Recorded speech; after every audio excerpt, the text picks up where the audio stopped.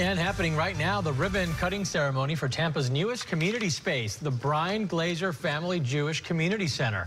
Take a look. This is a live picture here of the grand opening event happening again right now. The center is on North Howard Avenue in West Tampa. It's a large space for community activities with a total of 100,000 square feet and lots of people out there right now for the big opening event. But this building has a storied past. It once housed the Florida Army National Guard. It even hosted Elvis Presley, President John F. Kennedy. Lots of history there.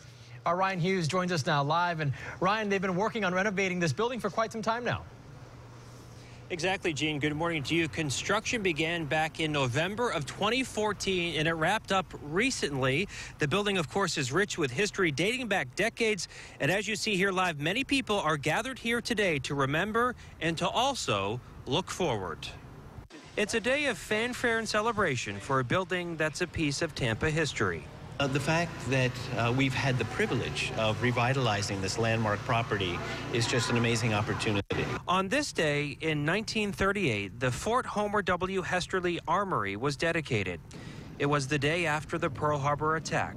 That was 75 years ago to the moment. Fast forward decades, today it's called the Bryan Glazer Family Jewish Community Center. The finishing touches just wrapped up.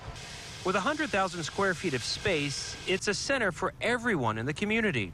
There's a gym, basketball courts, aquatic center, meeting space, and food bank services. We're just thrilled uh, that we are not only able to restore history uh, in Tampa, but also to be the catalyst moving forward in, in, its, uh, in its renaissance. It once housed the Florida Army National Guard and U.S. Army Reserve.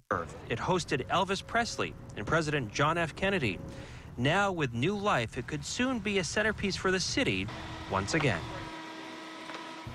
And back live this morning, millions of state and local dollars went into the renovations of the center, which will be operated by the city of Tampa. The total cost around $30 million.